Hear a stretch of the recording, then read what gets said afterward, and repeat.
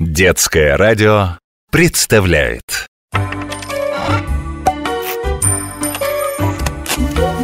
Необыкновенные истории обычных вещей Ох, Сашка, ну как же я устала перед каждой стиркой выгребать из твоих карманов горы мусора И бумажки от конфет, и веточки какие-то, и солдатики, и винты всякие Ну вот зачем ты все это пихаешь себе в карман? Ну, мама, что в этом плохого? Карман, он же затем и нужен, чтобы в него все складывать От лица всех карманов мира я тебя, Сашка, поддерживаю изо всех сил Нас затем и сделали, чтобы можно было с собой носить полезные мелочи, а руки были свободны. Ох, чего только люди для этого не придумывали. И сумки заплечные, но они были неудобными. И мешочки к поясу пришивали, чтобы там все носить.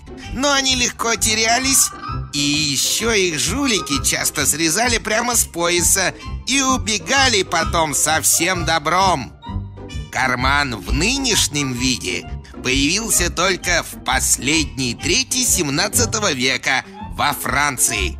Тогда по просьбе королевского придворного врача гильдия портных пришила четыре кармана к камзолу доктора, и он получил возможность всюду таскать с собой пузырьки с лекарствами.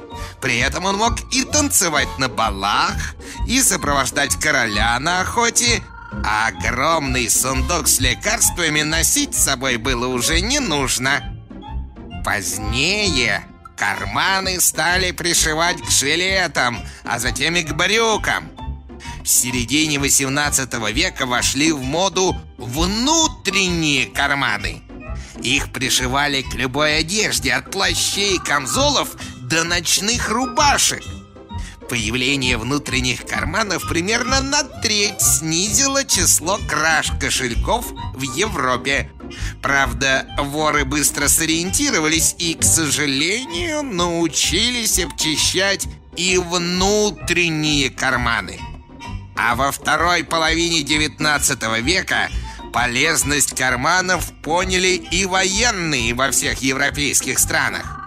До этого времени карманов на военной форме не было вообще, а в 1850-х на брюках пехотинцев Франции, Англии и России появились карманы.